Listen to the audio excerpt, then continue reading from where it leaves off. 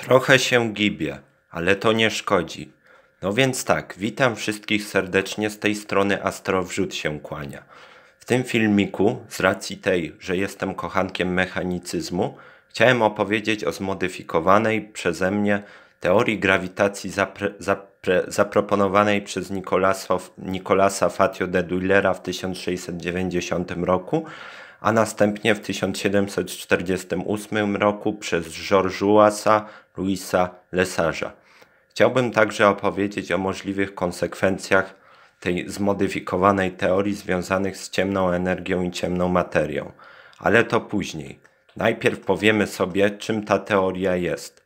Więc tak, stanowi ona propozycję mechanicznego wyjaśnienia siły grawitacji Newtona za pomocą strumieni drobnych, niewidocznych cząstek, które Lesage nazwał korpuskułami ultratymczasowymi, bombardującymi wszystkie ciała materialne ze wszystkich kierunków.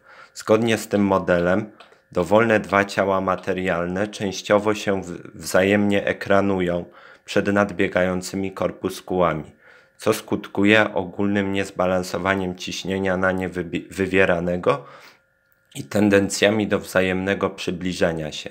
Należy dodać, że grawitacja w tym modelu nie jest siłą, tylko zjawiskiem. Zbyt trudne? Powtórzę jeszcze raz. Mamy większe kulki A i B i latające wokół nich korpuskuły. Do zielonej połówki kulki A dociera mniej chaotycznie latających korpuskuł, bo na przeszkodzie jest kulka B.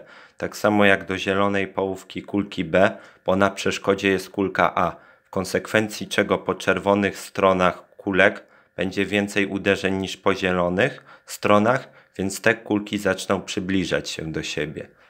Wydaje mi się, że ta zmodyfikowana teoria może zastąpić tak, hipotezę ciemnej energii i ciemnej materii. W jaki sposób? Już wyjaśniam. Zacznijmy może od problemu ciemnej energii.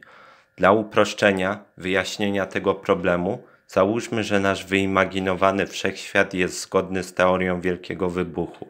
A dlaczego tak? Okaże się to później.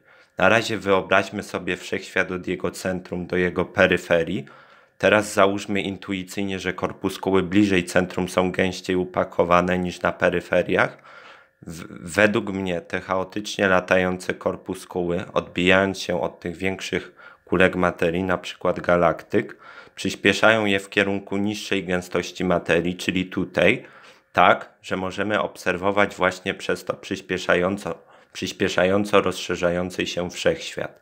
Jak widać, lepiej można to wytłumaczyć na teorii wielkiego wybuchu, bo przy niej można łatwiej założyć, że wszechświat ma schematycznie uporządkowany wy wyż korpuskuł i niż korpuskuł, co nie jest zgodne z rzeczywistością, ale łatwiej wytłumaczyć samą ideę na tym przykładzie.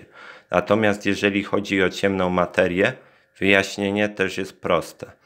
Otóż obserwujemy galaktyki, których gwiazdy zdają się zbyt szybko orbitować względem zbyt małej masy, jaką posiadają, więc ten deficyt masy zastępuje się ciemną materią. Według mnie niepotrzebnie. Uważam, że obserwujemy takie szybkie orbitowanie gwiazd w tych galaktykach, bo widzimy je starsze od naszej o miliony lub miliardy lat świetlnych ponieważ tylu lat potrzebuje ich światło, aby dolecieć do nas. Więc wtedy, w przeszłości, tych chaotycznie latających korpuskuł było więcej, bo wszechświat był gęstszy, a skoro tak, to silniejsza była grawitacja. Zatem gwiazdy z powodu silniejszej grawitacji szybciej orbitowały. Jest to bardzo ważny wniosek.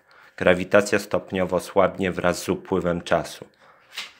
Co jest jeszcze trudnego do wyjaśnienia? Jest nią pseudoatmosfera z tych małych korpuskuł, która może hamować obiekty obrac obracające się wokół własnej osi, co obserwujemy na Ziemi, ale jeszcze nie na innych planetach i, czego jeszcze nie zaobserwowaliśmy, poruszające się na orbicie.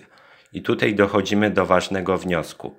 Szybkość hamowania obiektów inaczej by nam odleciały w przestrzeń albo zapadły się na siebie i nie obserwowalibyśmy takich pięknych orbit, musi być wprost proporcjonalna do szybkości zanikania zjawiska grawitacji, bo za te dwa zjawiska, szybkość hamowania i szybkość zanikania grawitacji, od, odpowiedzialna jest ta sama żednąca pseudoatmosfera. Kolejna kwestia jest taka, jak dowieść tej zmodyfikowanej teorii. I ja tutaj mówię, że należy zrobić bardzo dokładne badanie przyspieszenia grawitacyjnego na Ziemi w pewnym czasie, a następnie powtórzyć je i zobaczyć, czy się zmniejszyło. Dla lepszego zrozumienia i przemyślenia umieściłem treść filmu w opisie. Dziękuję za uwagę.